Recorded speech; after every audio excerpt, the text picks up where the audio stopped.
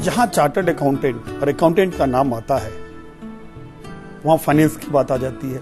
हमारे यहाँ पर जो बैलेंस शीट बनी है, हमारे यहाँ जो फाइनेंशियल स्टेटमेंट बने हैं, वो इंटरनेशनल स्टैंडर्ड के हैं कि नहीं है। अगर अकाउंटेंट जब तक accounts true and fair certify नहीं करेगा, आज जनता उस पर विश्वास नहीं करेगी रेगुलेटर अगर विश्वास नहीं करेगा तो आज गवर्नमेंट को पूरा जो उनका उचित राजस्व आना चाहिए, वो नहीं आएगा तो देश नहीं चल पाएगा।